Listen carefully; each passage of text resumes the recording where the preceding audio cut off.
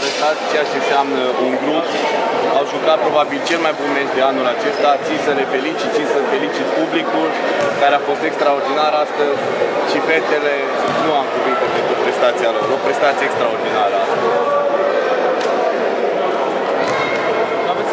Victoria continuă miercuri la Târgoviște, meciul decisiv pentru final. Va fi un meci decisiv, sunt convins că de această dată și ele vor avea un pic de presiune.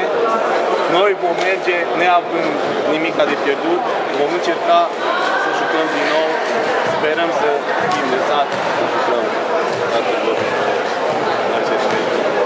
Pentru că basketul este frumos și astăzi acest fete a demonstrat-o că se poate juca un basket extraordinar împotriva campionatului. S-a văzut mâna lui Popov și țin să repet acest lucru.